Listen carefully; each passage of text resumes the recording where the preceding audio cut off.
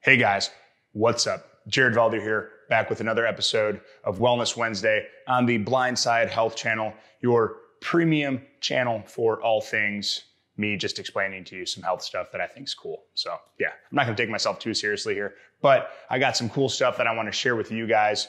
Uh, one of my goals is to live a long, happy, healthy life. And so I wanna pass along some of that stuff during the course of my football career, I had to figure out kind of some paradoxes on how to do something that was kind of bad for your health and be healthy doing it. Like going out there and smashing heads with somebody and then not having long-term, you know, side effects, which there might be, but you know, there's ways to try to mitigate those with things that you can do for your health, like sleeping, eating correctly, um, those kind of things. Uh, and then there's the whole other side of trying to be over 300 pounds and having that be healthy. Try doing that not easy. So I've played around with my diet a lot. I've really tried to center my philosophy around high quality ingredients and high quality sources. And I want to talk to you about sandwiches. Maybe if you follow me on Instagram, you've seen some of these colossal creations that I've put out there that are, you know, piled about this high with goodness. And uh, it's kind of tough for me to put that out there without any kind of big disclaimer because sandwiches can be pretty junky for you. Um, you have to be very careful. You have to be selective with your ingredients, and I want to get into some of that right now. All right, guys, bread, that delicious outer shell of the sandwich. To me, it's, it makes or breaks a sandwich, honestly. Um, and I'm pretty picky on it because I want to be picky because if I'm having junky bread, that's going to make me feel like crap for the rest of the day. It's going to wreak havoc in my gut and it is just not going to jive with what I'm trying to do. So I make sure that I have a high quality bread. I want to stay away from anything that has any potassium bromate in it. Um, that is a, a, dough strengthener and leavening agent um, that uh, some commercial bakers and a lot of fast food uh, producers use when they are making some kind of sandwich, you know, be it a, a burger bun or, you know, something similar to that at, at Arby's or, or Blimpie or anything like that. I don't think Subway uses it. So Subway, good job for staying away from the potassium bromate because unlike some other countries, the US allows it and it has been known to possibly cause cancer. There might be some carcinogenic effects in potassium bromate and anything that may cause cancer, I don't want to keep that in my diet, even if it's a may. You know, there's just, there's no reason for that. It's a chemical that's not natural to the bread. Um, and it serves no purpose for it because you can have delicious bread that has no potassium bromate. So, moving on to what I look for, I want to find something that's either sourdough or sprouted. Gluten is still a gut irritant, even if you don't have celiac disease. So, don't think you're crazy for having your stomach feel kind of funny after eating a bunch of bread. Um, and one of the ways you can reduce that gluten content is by consuming a high quality sourdough bread. And I'm not talking about just like a, a, sourdough bread where some sourdough starter is like the last ingredient on the grocery store shelf. I'm talking like a high quality bakery grade sourdough bread from your local baker. And I know bakery grade sounds kind of goofy because all bread's coming from a baker, but I'm talking about a uh, artisanal bread that is made from whatever bakery is down the street because I guarantee they are going to take much more pride in creating a more traditional sourdough bread than what you can find on your shelf. And you're supporting a local business, which is great. Um, I think we can all do that as much as we can, support our neighbors because good things happen when we do that. I like using Field and Fire from downtown Grand Rapids. They use all organic ingredients, so I don't have to worry about pesticides or uh, any kind of GMOs being in the bread that I'm consuming. I know it's a nice, high quality, clean bread, and it's super delicious. It's amazing. Like you stack this bread up to any other bread, and good luck because it's that tasty. The other bread that I will use as kind of a, a substitute or a change up is some kind of sprouted bread. Uh, maybe you've seen Ezekiel bread in the store before. That's kind of the go-to if I don't have time to get to the baker or if I'm out of town and I just need something that's that's high quality, that is still organic, so it's free of those pesticides and GMOs. And the cool thing about uh, any of that Ezekiel bread, Genesis bread, uh, is that it's sprouted, and that gives the grains a little higher bioavailability for their nutritional content, and that's good for you. It's also going to get rid of some of those uh, gut irritants by soaking those grains, allowing them to, you know, not have those anti-nutrients. You know, it's pretty tasty. You put it in the toaster and it's a good base for your bread. It's no local bakery bread. It's no field and fire sourdough loaf, but hey, it's a good substitute if you don't have access to, you know, your local baker down the street to get that good bread. All right, so we got the bread down. Next thing on the docket is your meat. Um, yes, I'm gonna go meat before cheese because when I'm making my sandwich, I go bread, meat, cheese, add-ons. So let's get to the meat. You know, kind of my store-bought go-to um, if I just want something that tastes good and something that's kind of clean is Boar's Head. You know, Boar's Head does not go out of their way to ensure that the quality of their meat is gonna be great. Uh, you know, you're still getting mass farmed animals when you're eating their meats. You know, if you don't want the boar's head, if you want something a little bit cleaner than boar's head, um, look for Applegate Organics. Uh, they do a pretty decent job uh, with making sure they're putting out a clean product. Uh, the animal is going to obviously have consumed organic feed if they're going to label it as organic, and you're not going to get some of those other chemical flavorings and chemical additives to the meat, uh, especially the nitrites. Uh, there'll be some naturally occurring nitrites in there, but it's not going to be the same level as your uh, kind of bargain bin lunch meats that you can find at the store. A lot of other store-bought meats, uh, you run into some issues. Uh, one of those things being sodium nitrite for as a preservative, but if you eat a lot of that, you know, you're packing that sandwich high with meat and you're having a lot of sodium nitrate, and that could really disrupt a lot of things uh, going on in your body. You don't want that. It's going to jack up your mind. It's going to create maybe a little bit of brain fog. And so just keep an eye on that. Another thing, high sodium content. Uh, it kind of acts as another preservative and it's going to really make it taste better. I mean, anything that's saltier is going to be more palatable. So they're going to load in the sodium. These store bought deli meats, a lot of times they have problems with listeria. That's why pregnant women are supposed to stay away from them. And that's a bacteria that can grow even under refrigeration.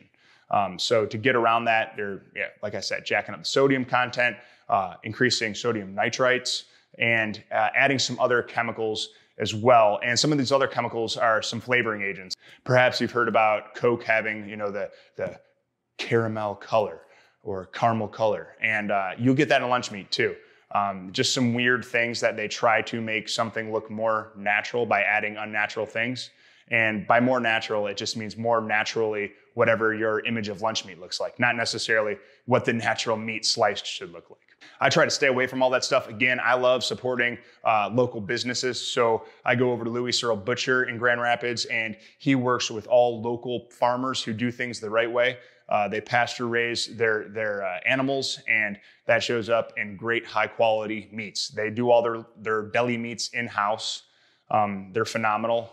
Uh, I don't have to worry about a bunch of sodium nitrate. I don't have to worry about high sodium content and the stuff is delicious. And I know that I'm supporting my local farmers, my local butcher when I'm making these phenomenal sandwiches. And you know what? I feel pretty good when I pack that meat high, when I pile it high up there. You know, I'm not getting a headache after I eat it. I'm not feeling like my fingers are swollen. It's good stuff, man. So I, I suggest finding a local butcher, like finding a local baker. You know, it, it can really add that extra oomph to your sandwich. And uh, I like a little oomph with my sandwich, you know, put a little bass in it. All right, guys, on to cheese. So, so far we are going high quality bread, high quality meat. You know what? We're gonna keep the high quality train going with high quality cheese. Just like the meat and the bread, it comes down to the quality of the source you're using and any kind of tactics around your health. You know, are you sensitive to dairy? You might want to find a lower lactose cheese. Uh, that being cheddar, Swiss, Parmesan, any hard cheese is going to have less lactose therefore a little easier on your GI tract if you uh, have an issue with lactose.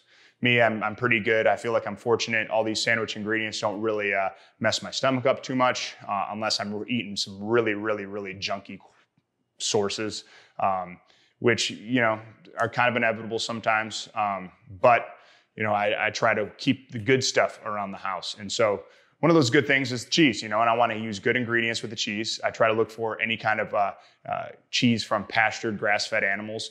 The whole reason I keep going back to finding sources that were pasture raised, these animals producing products that were grass fed themselves, are because the nutritional quality is much better. You're going to get higher omega 3 fatty acid content. And those omega 3 fatty acids are what keeps you uh, in a normal state of inflammation balance. If you start to have a lot of omega 6s in your diet, which Western diets are more heavy in in general, uh, that's going to be pro inflammatory. So you want to get as many omega 3s as possible because those are the anti inflammatory fatty acids.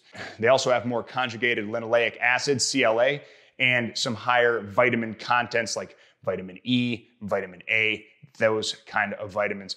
And that's why I stick to pastured sources as often as I can because of that higher nutritional content.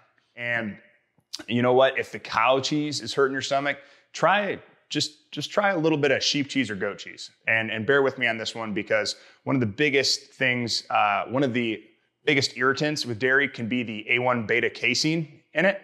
Um, I don't know if you've seen it on the shelves, but now there's this whole new dairy company called A2. Um, they're putting out this A2 milk. It has no A1 beta casein, which are uh, again some of the uh, issues behind the uh, inflammatory effects of uh, lactose itself is this mutation that occurred a long time ago in the casein gene. And so A2 beta casein is supposed to be much easier on your tract and it doesn't have that inflammatory property that uh, A1 beta casein has. So sheep cheese, goat cheese, they do not have the A1 mutations. So you don't have to really worry too much about, hey, is this going to be as inflammatory? Maybe it could be if you have a very, you know, high lactose issue or kind of dairy sensitivity. But a lot of times, again, that dairy sensitivity is because of that A1 issue. So you don't have to worry about that if you're having goat or sheep cheese.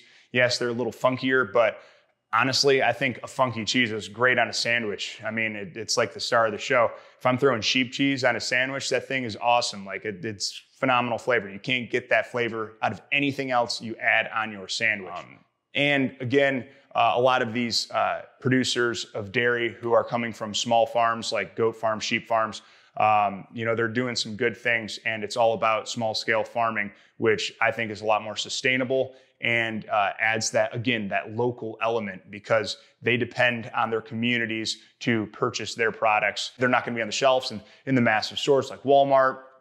Um, you know, they're going to be at farmers markets, maybe some uh, local kind of artisanal stores. Uh, so check out there. Um, and it, it's good stuff. You might have to slice the cheese with a knife. I know it's not going to come prepackaged, but hey, it's not hard. It's easy. It's delicious. But if you're looking for something from the store, uh, you know, I'd recommend like a uh, grass-fed cheddar. Um, that's kind of my go-to. Trader Joe's has a, a great one. Um, it's going to get kind of away from the local thing because it's their new New Zealand grass-fed uh, white cheddar cheese, and it's it's pretty tasty. It goes well if I'm in a pinch. If I don't have my fancy cheeses, I'll throw that on there, and uh, and that wraps out the kind of bulk of the sandwich. We got our high quality bread, our high quality cheese, and high quality meat. All right, guys. So moving on to the add-ons, the accessories, the condiments. Um, do what you want to do, man. Be you, experiment, get kind of creative with this. Um, again, I try to look for organic sauces whenever I can because they're going to be free of any pesticides, GMOs. I'm not going to be getting all those chemicals into my sandwich, into my food, into my body. It's going to hold me back, man. I don't want chem- chemicals. I don't think are going to help me live to 100 and be happy and healthy. Just going to throw that out there. That's just my thought. Maybe you're fine with it. I know a lot of them are deemed safe, but a lot of times our society kind of just deems things safe by you know, having you skirt around on the bare minimum of your health, not necessarily what's the best for your health. So keep that in mind. Anyway, back to the sandwiches. So lately I've been drizzling some extra virgin olive oil on my toasted bread before I put the sandwich on, and maybe I'll drizzle a little bit at the very end over the, uh, the lettuce or kale that I'll put on there. I have a garden going out back, so I'll go and I'll clip whatever greens I got out there and I'll throw them on the sandwich. Some other things that can really boost your health that you can throw on the sandwich besides extra virgin olive oil uh, or any kind of greens like kale, spinach are sauerkraut, kimchi, raw pickles, any kind of fermented veggie uh, you'll get some good probiotics in there and some good prebiotics as well in that fiber from the fermented cabbage products. And they taste good, they add good flavor. But just be careful. I mean, don't go too crazy because sometimes if you're making like a turkey sandwich and you're throwing sauerkraut on there, it could be a little goofy. It's not going to jive well. All right, guys, that wraps up my little spiel on sandwiches. That's why I can make these ginormous sandwiches and fit them into my healthy lifestyle. I know there's still, you can nitpick all day if you want, say that there's things that aren't healthy in there, but I'm trying to use the highest quality sources I can as well as exercising and monitoring my total food intake and sandwiches fit. I'm able to do what I want to do, make the goals I want to make, uh, and live a healthy lifestyle with my big old sandwiches as part of it. If anybody has any questions, please direct them in the comments. Let me know what kind of sandwiches you've been making. Let me know what kind of additions you've been adding to your sandwiches. Any kind of little superfood hacks that you can slide in there. Uh, be my guest, throw them in the comments, man. I want to hear about it. And if you like this video, if you found it useful, if you're making some killer sandwiches, go ahead and just punch the crap out of that subscribe button. Just kidding. I don't want you to do that, but please subscribe because I'm going to throw out as much of this kind of information as I can. Stuff that is going to let you live a long, happy, healthy life, but not be restrictive. And at the same time, kind of giving uh, strategies that go alongside with superfoods and being able to modify your diet without restricting everything, keeping it social, keeping it fun, keeping it fulfilling. Uh, you know, no one wants to just be eating uh, a piece of lettuce all day, every day. That gets boring. Um, life's more than that. So, guys, thanks for joining me today on this episode of the Super Sandwich Wellness Wednesday. It was fun. I hope you got a little something out of it. Go make yourself a big old sandwich.